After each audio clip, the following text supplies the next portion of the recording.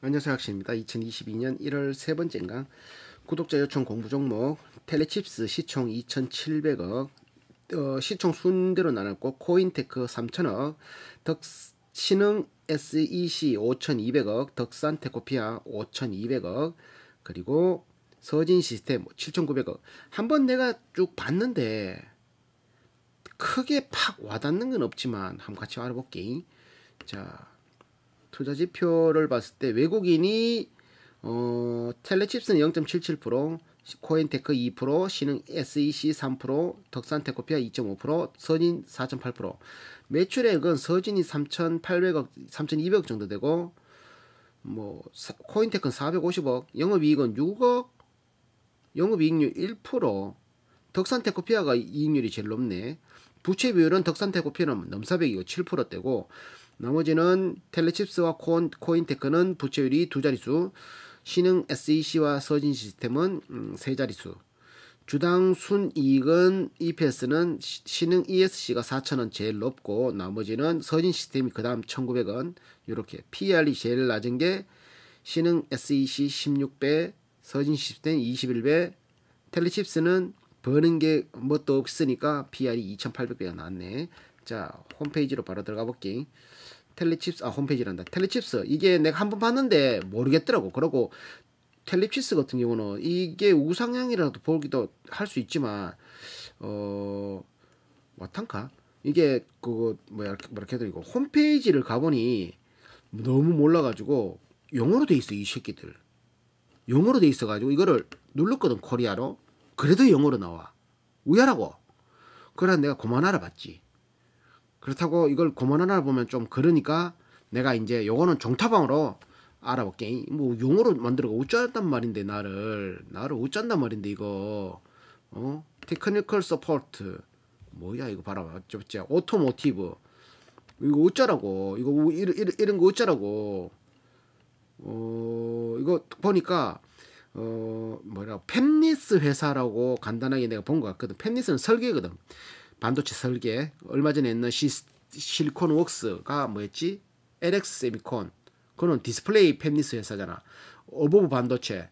그거는 뭐 리모컨 이런 거 펜니스 회사고 또 어디고 최근에 엄청나게 올랐는 거 아진 엑스텍 모션 제어 펜니스 회사 설계 회사. fabless는 공장이 필요 없거든. cockpit 이런 펜니스 설계 회사. 요거면 automotive니까 그 매력 있지 맞지? 약간 텔레칩스 그 종토방을 가자. 종토방 위주로 알아볼게. 크게 매력이 없어가지고 재무나 이런 걸로 자 보자 추천수 한 9 이상만 가자 3중 바닥 잡는 게 수상하더니 통과 10 이상 자 뉴스 대박 텔레칩스는 차량용 반도체 micro unit, micro control unit MCU야. 양산 목표로 국내 고객사와 테스트를 진행 중이다. MCU는 삼성전자 12인치 웨이퍼 기반으로 생산된다. 오늘 기사한 오 괜찮지? 자 그리고 또 36 추천수 현대 삼성 반도체 뉴스 현대 삼성차 반도체 드림팀 뭉쳤다. 우짜라고 뭉쳤다. 뭉쳤다. 어, 됐다. 11 텔리칩스의 중요함. 어, 4분기 매출 20% 상승, 영업이익 흑자 전망, 오스틴 공장 정상 가동, PCB 이슈 해소, 차량용 반도체 전망 시장과 신규 고객 확보 등으로 실적 회복 기대가 뭔데 이게? 자, 리딩방 다시는 안 따라갑니다. 따라가면 안 돼. 리딩방 들어가지 마라. 이런 것들 나왔고. 자, 또 이거가 좀 핫한 모양이네. 1월 14일인데 아직까지 1월 14일이네. 자, 넘어가고. 오, 요? 왠지 본능적으로 땡겨. TTA 시험 인증 최우상 텔리칩스 TCC 차량용 시스템 반도체 기업 ADSA에 적용 가능하다고. 어 마이크 어 요거 어 같은 이거 차량용 반도체 설계는 괜찮다 괜찮다. 어 잠깐만 이거 댓글에 댓글에 텔레칩스는 micro control unit MCU를 아는가? 차량은 엔진이 없고 모터로 달린다. 맞지 삼성 주가 연동인 동부 하이텍과 칩스앤미디어. 칩스앤미디어가 차량용 반도체 설계와 생산에 관련된 M&A 찌라시가 도는 종목. 칩스앤미디어가 이제 요 요런 거와 텔레칩스와 그거 연관되는 차량용 반도체 내가 최근에 했던 게 기억이 안 난다. 아, 그런 거 있네. 자, 또 뭐 있노? 또 뭐 있노? 없다. 6페이지 넘어가고 어, 10, 10개 추천수 3중 바닥을 맞추는 거 필요 없고. 자, 또 추천수 예상대로 검은머리 외인 20만 주. 검은머리 외인인데 20만 주인데 어, 0.77%밖에 안 되나? 지분이. 자, 8 삼성 인수 확률 좋아진다. 요 며칠 상치고 살짝 올라가더니 빠지면 개미 털기. 이렇게. 셀바스 AI가 훨씬 낫겠다. 자, 10 11까지 더 이상 와, 아 그러니까 1월 13일 게시글이다 이거. 사람도 많이 들어간 것 같은데. 어, 사람도 많이 들어간 것 같은데 이게. 어, 상상인 증권 자율주행차 시장에 준비된 두 번째 세 번째 밴드로서 후보원 진입이 가능 높은 가능성이 있다. 주가 25만 원 갑니다. 25만 원 가면은 10배란 말이잖아. 2조가 된단 말이야. 이게 그 정도 되는 회사야? 바, 차량은 반도체 대장이다. 차량은 반도체 대장이라고? 그런 매력 있지. 날라갈 준비 됐나? 됐나? 자, 신천지가 열리고 막 이렇게 말하네. 자, 요거는 음, 요거는 한번 알아봐야 되겠다. 텔리칩스는. 공매도 현황 한번 보자. 안 노네. 공매도 현황. 눌렀는데 안 나오니까 요건 패스. 자, 그러면 다음 다음 종목. 자, 코윈테크 말고 자, 코윈테크. 코윈테크도 뭐 이제 상장한 지 얼마 안 됐고 뭐 하는 회산지 뭐 아 이게 그거였던가 원통형 배터리를 만드는 2차 전지 smart factory 2차 전지 생산 공정 2차 전지를 만드는 그 공정을 smart factory를 만들기 위해서 이 회사가 많이 이제 노하우가 좀 있는 모양이더라고. 그런데 뭐 그걸 봐도 내가 좀 잘 애매하더라고. 그래가 이거 홈페이지를 보긴 봤는데 그 아까 전에 텔레칩스보다는 조금 눈에 들어오고 이런 식으로 자동화 공정 이런 식으로 주요 사업 영역 이런 이런 이런 시스템 설계 뭐 자동화 설비 M2I처럼 그런 거 하는 거지. 유지보수 smart factory 전자 local 이거 특히 얘들은 전문 분야는 자동 2차 전지 부분에 2차 전지 공장 만드는 부분 어디 갔노 코윈테크 코윈테크 자 그러면 여기서 이제 또 종토방을 보자 종토방 보자 시총 3천억 지지하기 시작함. 시총 3천억이거든. 4천억까지 무난히 가야 된다. 코윈테크 CEO님 무상증자 해야 된다. 900만 주밖에 없으니까. 자, 괜찮지? 900만 주밖에 없으니. 자, 또 넘어가고 넘어가고 10개 추천. 모질이 삽질 중. 모질이 삽질. 자, 또 넘어가고 또 넘어가고 5페이지 어, 10일 LG 에너지, 에너지 솔루션 상장 2차전지 생산 공정 풀 자동화 시스템 개발 성공 후 납품 LG 에너지 솔루션과 삼성 SDI의 전공정 물류 설비 독점 공급 중 지금 콘테크 계획이면 뭐래 삼성이는 어 멍멍 개소리란 개, 개소리 개소리 개소리 개소리다 자6 5, 23 코이, 코인테크의 좋아 2차 전지 패키징이 필요한 전공정, 후공정 모든 라인 자동화 설비를 개발한 업체. 자, 자회사 지분 50, 50%를 탑전지 인수해서 소비재 기업까지 품은 상태. 나스닥에 상장했다가 량상 그룹에 인수된 A123이라는 기업 co-founder 삼성 SDI 출신 뭐 이렇게 뭐 베트남 빈그룹 빈패스트 뭐 이렇게 쭉 나오고 가장 저평가되어 있는 2차 전지 관련주입니다. 공장 이름 만드는 거니까 디스플레이 반도체 자동화 설비 회사로 인식된 기간의 시각이 달라지는 순간 품절주로 된다. LG 디스플레이 종토방에 쓴 거를 한번 보시면 20년간 매모, 매매로 살았다. 이 사람이 자 3분기부터 글을 조금씩 남기고 시작합니다. 코윈테크 2차 전지 패키징에 필요한 전공정, 후공정 모든 라인의 자동화 설비 요게 메리트다. 2차 전지 공장이 늘어날 거냐 안 늘어날 거냐 그걸 보는 거네. 어 괜찮다 맞지? 요건 봤을 때 괜찮다 맞지? 자 또 뭐 있노? 또 뭐 있노? 그러고는 추천 수가 없는데 어 2차 전지 장비주 어찌 보면 2차 전지 장비주지 얘들은 그런 기계 설비 그러니까 이게 설비 투자를 많이 하면은 이 회사가 매출이 올라가는 거고 설비 투자를 많이 하지 않으면은 안 올라가는 거는 맞지? CIS, TSI, 에이프로, 코윈 요렇게 코윈은 아직 안 떴지. 탑 머테리얼즈 공급사가 LG엔솔. 이 뭐야? 자, 어려운 얘기. 자, 또 뭐 있노? 10, 11. 코윈 1차 매물 뚫었습니다. 31,300원. 자, 지지대는 패스. 자, 또 뭐 있노? 8, 10. 자, 코윈테크 올해 4분기 매출액 증가율 1위. 매출액 예상 매출액 증가율 1위. 기계주 가운데 매출액 1위라는 거는 오, 346억, 347억, 전년 대비 80% 상승. 그만큼 올라가나? 오, 2번, 3번 더 이상 없다. 아, 요거는 2차 전지 패키징 업체 다시 차트 한번 보자. 야, 이거 차트 종합 정보 차트를 보자. 10년 차트 생긴 지 얼마 안 됐고 32,000원 발행가보다는 맞지? 생긴 게 얼마 안 됐는 이제 갓 상장한 신생기업 신생기업에 외국인이 2풀이 들어왔고 주식 수가 950만 주밖에 안 되기 때문에 어, 무상증자의 확률도 있지. 가능성 부채율이 20% 40%니까 아직까지는 괜찮고 요것도 괜찮네. 자 요건 요까지. 자 다시 다음 거. 신흥 SEC 요건 내가 아까 볼 때 뭐였더라 뭐를 써더라 10년 차트고 이것도 17년에 상장을 해서 9만 5천까지 갔다가 지금 6만 7천 원 어, 이 뭐였더라 여기도 부채율은 170, 140% 지금 부채율이 140%인 회사 2차 전지 부품 관련주 이거 아니다.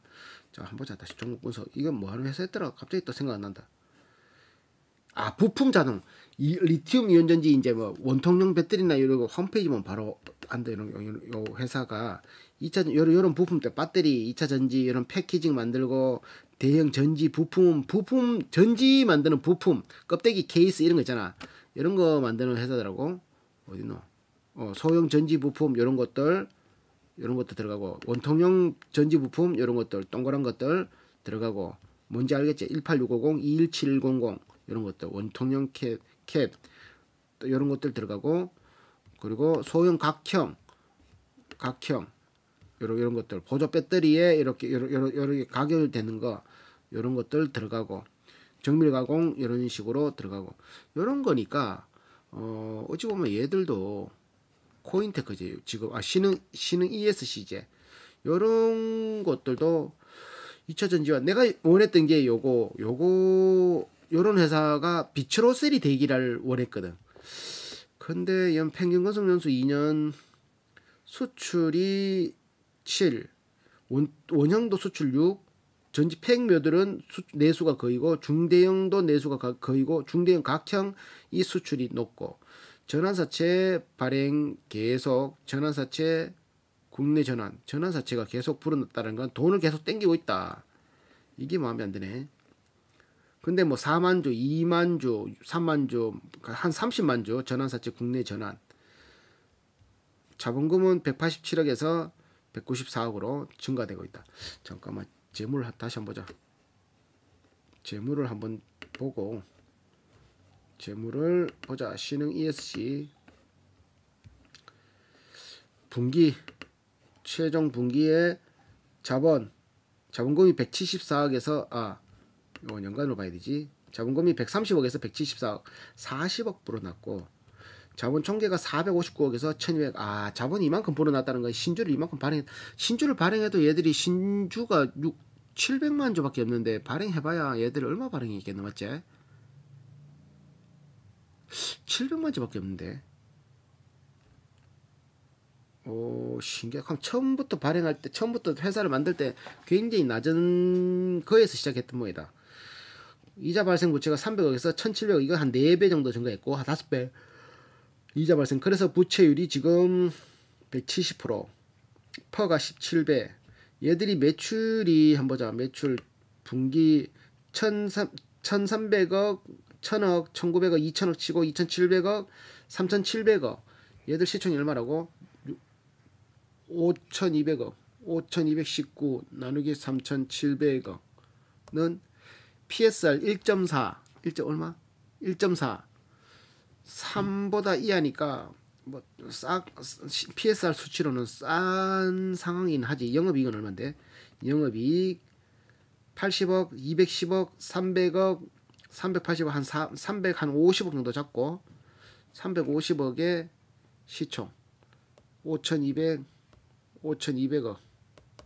나누기 320은 PR 16 정도 영업 이익 대비 낮은 건 아니다 맞지? 2차 전지라는 메리트가 있지만 요거는 썩 땡기질 않는데 그래도 2차 전지라 가지고 한번 깐당깐당 요건 요까지. 자 또 뭐 있나 코인테크 했고. 자 덕산 테코피아. 시총 5,200억짜리 1,800만 주식 수고 외국인은 2.5%자 덕산 테코피아 요거는 상장한 지 19년부터 상장해서 지금까지 최고가 39,600원 달리다가 지금 요거 반도체 소재 사업 반도체 소재 사업. 부, 재무로서는 얘들은 뭐 재무는 빵빵하네. 부채율 9%니까 볼 것도 없고 재무. 그러면 이제 회사가 계속 돈을 벌냐 안 버느냐만 판단하면 되는 거니까 덕산 테코피아 이거 이거 뭔지 알지 이거? 어 OLED 발광 재료의 소재 이런 OLED 중간체 이런 것들을 만드는 공급하는 그러니까 부품 회사 장비 회사보다 소재 회사는 공장이 돌아가기만 하면 무조건 써야 되는 거니까 이 공장 저 공장 상관없이 장비 회사는 이 공장에 안 들어가 버리면 자기가 매출이 안 올라가는데 소재 회사는 이 공장이든 저 공장이든 어떤 기계든 다 쓸 수 있는 것들이고 부품 회사는 그 공장 그 부품이 쓰이는 어, 경쟁 업체더라도 다 괜찮은 거. 제일 좋은 건 범용성이 제일 좋은 거는 소재 회사다. 제일 나쁜 거는 안 좋은 거는 어, 유도리가 제일 적은 거는 장비 회사. 부품은 그 중간. 그러니까 소재 내가 제일 좋아하는 건 소재 업체 그리고 부품 업체 그리고 장비 업체. 장비는 뭐 공장을 더 짓든지 해야지 거기 올라가니까 요런 거는 덕산테 코피아는 소재 업체. 자 소재 업체고 매출이 우상향했었지. 자, 보자. 매출이 700억, 600억, 780억, 그리고 1100억 예상하고 있네. 쭉 올라가고 쭉 올라가고 있다. 종토방 보면은 어 10번 10억 자사주 10억 100억 일대 자사주 매입 100억 일대 자사주 매입이 아니라 시설 설비 투자에 이제 맞는 게 아닌가요? 이거 뭔 말이야? 패스. 자, 또 넘어가고 추천수 10 이상 추천수 10 이상 고독한 주식 투자. 주변에서 뭐라고 하든 플러스 마이너스 내가 감당해야 된다. 자 넘어가고. 자 또 뭐 있노? 넘어가고. 빈이 넘어가고. 또 넘어가고. 얘들 추천수 10개 이상 되는 게 없다. 글이 덕산테 코피아는 10개 이상 되는 게 없다. 10개 이상. 덕산그룹 할 때 덕산그룹 자체가 그 덕산 하이메탈은 숄더볼 막 굉장히 초소형 숄더볼 만드는 회사였고 하기 때문에 문제가 없지 뭐. 이런 거는 덕산 그룹 자체가 천안 풍산 세안 성남 이건 뭔데? 건물 공장이란 말이야? 자 이건 추천할 만한 것도 없다. 재무로서는 아무 문제 없고 소재 회사 소재 회사. 크게 땡기는 것도 없고 안 땡기는 것도 없고 여기까지. 자 또 마지막으로 서진 시스템 시총 7,900억짜리 10년 차트. 17년 상장에서 우상향이라 보기 힘들고 최고가 57,500원 이게 뭐하는 회사고 1,700억 규모의 연구체 발행. 연구체라는 거는 영구적으로 빌려줄게. CB 신주이성무가 이거 전, 전환사채 전환시킬 수 있는 새로운 주식을 받을 수 있는 30년 만기라고 한다라면 30년 동안 이자만 받으면서 내 니한테 돈 빌려줄게. 그러니까 자본으로 인정된다. 이거 회계적으로는 부채가 아닌 자본으로 인정된다. 30년 동안 이자만 받고 내가 돈 빌려준다고 하는 건 자본으로 인정된다. 회계상으로는 30년간 빌려주니까 보통 전환사채는 5년, 뭐 3년 막 이러니까 야 이거는 빌려주는 사람 입장에서는 아무 문제가 없다 생각하니까 빌려주는 거겠지 맞지? 그래서 이게 자본으로 언제 들어왔다고? 어, 9회차 전환 2월 4일 납입 예정이. 그럼 요게 2월 4일 날 들어오면은 부채가 야 잠깐만 얘도 부채가 얼마였지? 부채가 높았던 걸로 알고 있는데 부채 비율이 180%인데 1,700억이 들어오면 잠깐만 이거 보자. 1,700억이 들어오면 어 여기 있지. 저 밑에 부채 차입금 자본 총계 부채 총계에서 이자 발생 부채가 3,300억인데 1,700억이 들어오면 확 2,300억으로 깎인단 말이잖아, 맞지? 돈이 쏙 들어오면 맞잖아. 그러면 부채율이 부채가 총 얼마지? 부채 총계 6천억인데 1,700억을 빼면은 이렇게 계산하는 게 맞는지 모르겠는데 6,200 빼기 1,700억은 4,500, 4,500 나누기 자본 얼마고? 3, 4, 2, 6. 아, 부채율 한 60%까지네. 131%가 된다. 131%가 된다. 그리고 계속 순이익이 쌓이면은 또 까이겠지. 와, 2021년 3분기에 200억 올렸다. 뭐 팔았는 모양인데? 아니다, 아니다. 영업이익이 250억이다. 이 뭐가 발, 뭐가 뭐가 뭐가 이거 터졌다.